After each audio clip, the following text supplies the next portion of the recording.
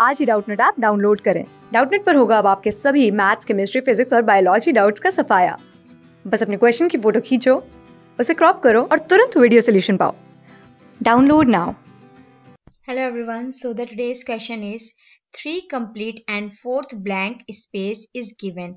Choose the set of figure which follows the rule and would replace the blank space given in the question figure from the four alternative given.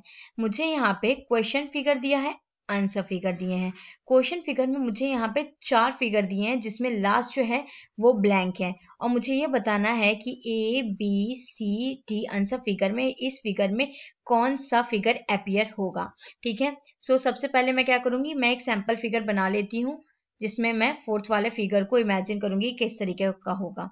पहले में पूरा circle है, दूसरे में इसको fold कर दिया गया है हाफ़ कर दिया गया है मतलब इसका, ठीक है? इसमें फिर क्या किया गया? अगेन इसका हाफ़ कर दिया गया है।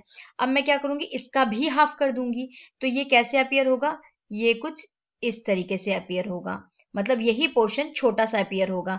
सो यहाँ पे कौन सा फिगर इस तरीके सा है? डी सेम है यहाँ पे। ए जो है वो इससे थोड़ा सा छोटा अपियर हो रहा है, बाकी जो है वो बिल्कुल ही डिफरेंट है। सो ए यहाँ पे क्वेश्चन मार्क में फिट हो जाएगा और मेरा फोर्थ फिगर जो है वो ए है। So A is correct answer here जो कि यहाँ पे इस फिगर से मैच कर रहा है। क्लास सिक्स से ट्वेल्थ से लेके NEET I I T JEE mains और एडवांस के लेवल तक। दस मिलियन से ज़्यादा स्टूडेंट्स का भरोसा। आज ही डाउनलोड करें डाउट नेट आप या व्हाट्सअप कीजिए अपने डाउट्स आठ चार सौ चार सौ चार सौ पर।